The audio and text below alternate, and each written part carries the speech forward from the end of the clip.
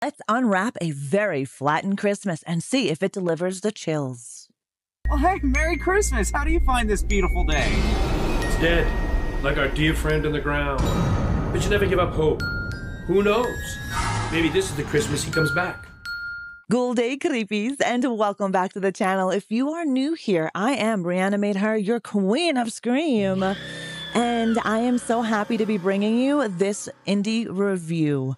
I had the pleasure of viewing an indie horror movie that I did a reaction to, the trailer.